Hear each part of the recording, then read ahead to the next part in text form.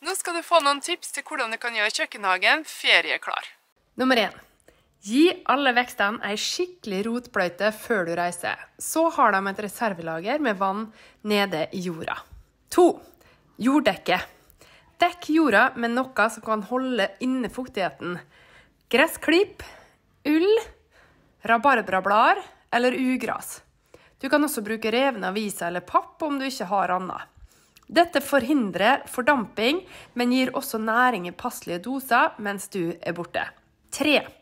Skaff en vanningscomputer og tilfør f.eks. en spreder som slår på vannet tidlig på morgenen.